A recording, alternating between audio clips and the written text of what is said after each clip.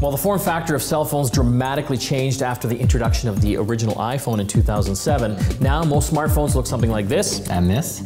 Well, it wasn't always like that. So today we're going to take a trip down memory lane and look at some of these cell phones and what they looked like before Apple entered the market. I don't know if you remember this baby here. I do. This is the Motorola Dynatac 8000X, the world's first mobile phone introduced back in 1983. I don't know if you remember Wall Street with Michael Douglas. Absolutely, I was just gonna say, any uh, old movies that are classics, you always see these phones in them. So uh, this one had 30 minutes of talk time, eight hours of standby, but it took 10 hours to recharge the battery, and it could store a whopping 30 phone numbers. But you know what freaks me out is like how much, what's transmitting out of this thing? Like it, I don't, don't know what kind of like waves we're wanna, passing through. I don't want to know. But you know, it's funny. It's similar. It kind of reminds me of the um, the phones that the satellite phones today.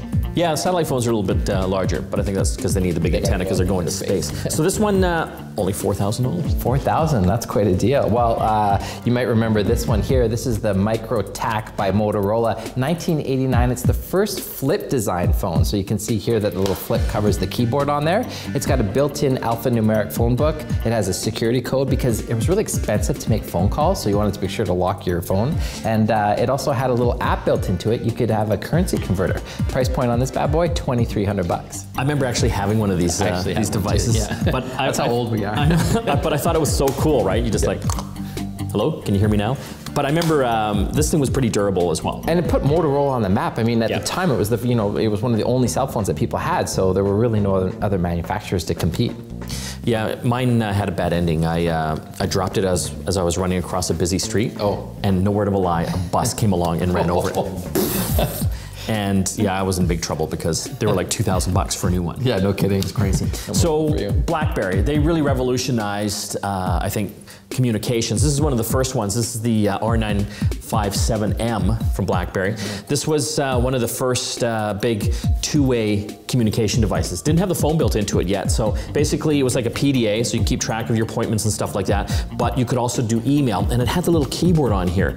This was huge. Back in 2000, this was introduced and had the monochrome display, and people just got addicted to this. Like they even used these in the presidential election at the time. And you know what? Um, this actually uh, reminds me of a time when Palm was basically the PDA that everybody had with them. Remember the Palm Pilot? I mean, this is really the very first instance where BlackBerry introduced the device to compete with them, again, having that two-way communication that Palm didn't have four megabytes of memory, which I'm telling Smoking. you is nothing, which is crazy.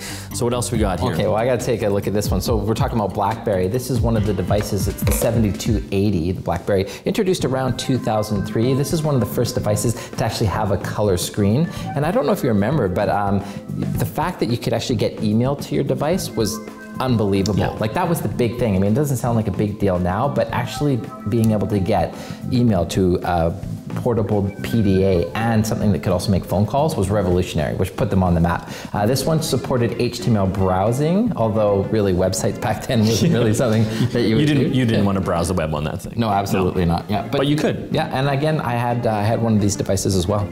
Very cool. So this is uh, something from uh, Sony Ericsson. Uh, they really got into phones in a big way, and you know we all have built-in cameras now. Yes. Well, this one had an optional camera that you could attach to the I, bottom. I love that. I got to pull that. I got to pull that off of there.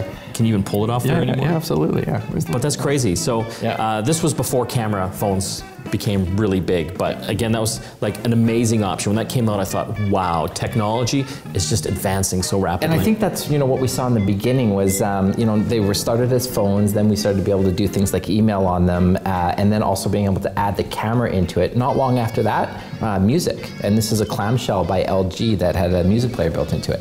Well, that was the big thing. You know, everyone was getting into music with MP3s and iPods, and it started getting built into phones as well. So phones started becoming more than just a, uh, you know, a voice phone yes. device. Uh, you know, we saw with the BlackBerry, you could do the email.